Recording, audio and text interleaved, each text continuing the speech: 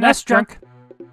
Super Nintendo had a ton of great Disney games, whether they were based on movies like Aladdin or TV shows like Goof Troop, or just regular old character based games like Mickey's Magical Quest, or in some cases, characters based on characters playing another character like Maui Mallard in Cold Shadow. The Sega Genesis had their fair share of good Disney games too, like World of Illusion and Gargoyles. The thing is, though, many of these games all had kind of a similar feel. They all did a good job representing their source material, and the gameplay was fairly straightforward, and the games were usually beatable. Disney games obviously didn't suddenly stop being made after the 16 bit era, but it's still jarring to see a game like Disney's Lilo and Stitch for Game Boy Advance because it's so different than what I've come to expect from older Disney games. Don't get me wrong, this game is super fun. It's just a kids movie turned into a Metal Slug clone? What?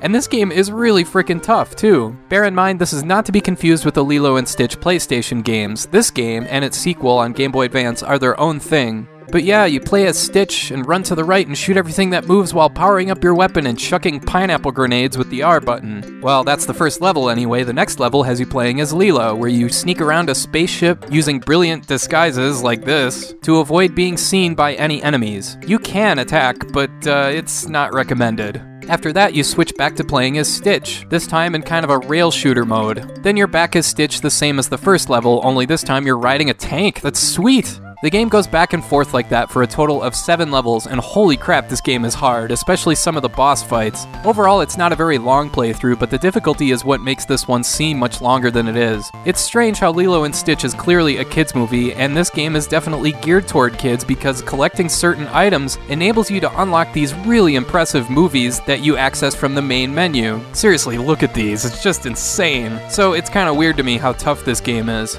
Making the game even tougher is that while playing as Stitch, you can't shoot while crawling or crouching, so that's a major bummer. There's also a password system here instead of a battery save, which some people may not like, but other than those flaws, this is a pretty cool game. The run and gun levels are a lot of fun, and the Lilo levels may seem boring by comparison, but they're actually pretty well done, with the later level using a gravity flipping mechanic. I will say though, the rail shooter stages are kind of a downer.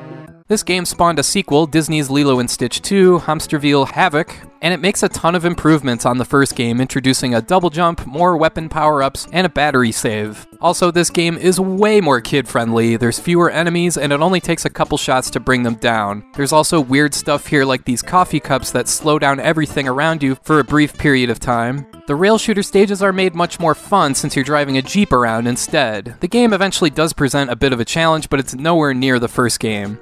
So yeah, did you ever want to play a Disney version of Metal Slug? Then check out Lilo and Stitch for Game Boy Advance. It's a surprisingly tough and gritty playthrough with a lot of gameplay variety. Some of it works and some of it doesn't, but it's definitely a game worth checking out that I don't see many people talk about. The sequel is also a good time, although bear in mind that one was made with younger kids in mind. I'm not sure why the first one wasn't, but for what it is, it's pretty good. And I want to thank you for watching, and I hope you have a great rest of your day.